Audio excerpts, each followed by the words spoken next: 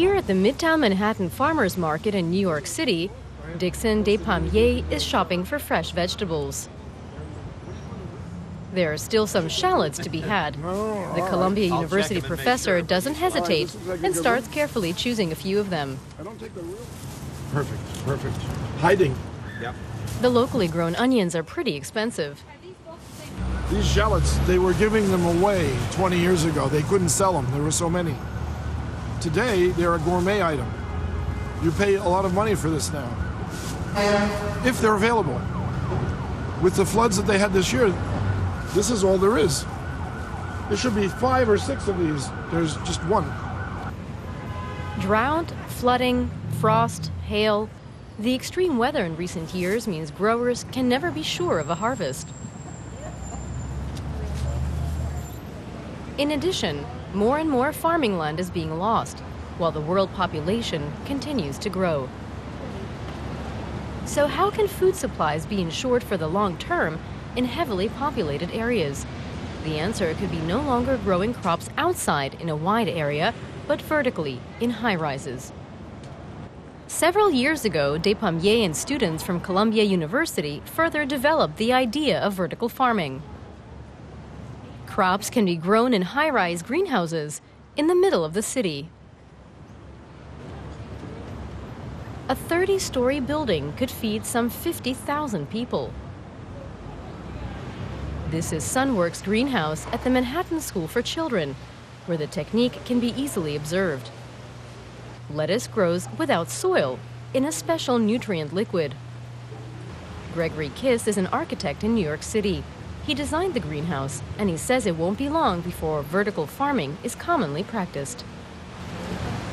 These are all techniques for growing plants that are very well known. They're very successful in the market commercially.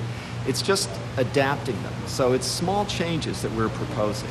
We can take those and simply uh, rearrange them so that instead of being horizontally, which works well on the roof of a building, we can make them vertical so that they can fit into the facade of a building. Like in this office building, which his company designed. He says the idea is especially attractive for countries with nutrient poor soil, such as Abu Dhabi or Dubai.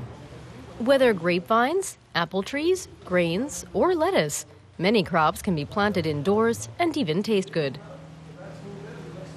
Nice green plants. You can eat them all. I can prove that right away. You see? Watch. Here's a testimonial. just kidding. This is delicious. And what did we just eat? We just ate romaine lettuce. A high rise farm with 10 square kilometers of stacked space could have a yield as high as a farm with the equivalent area extended across the ground. The trick is to have many crop levels spread over many stories. I would make another layer, and another layer, and another layer. In fact, I could make maybe 10 layers of this hydroponic facility, and as a result, I could grow a lot more of these plants. And growing crops in the city means there are also no transportation costs. But the cost of artificial light for these vertical farms is still very high.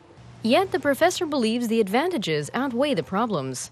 Cities occupy only 2 to 3% of the landmass of this planet, but we use the size of South America to grow food for that 2%.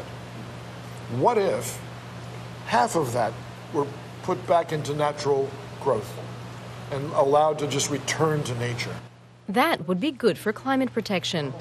There are already a few vertical farms in the world, but not yet the size of skyscrapers. Still, increasing numbers of city governments, architects, and agricultural scientists are working on the idea. And Dickson Despommier will continue to promote his vision of vertical farming as a solution to the world's hunger problem.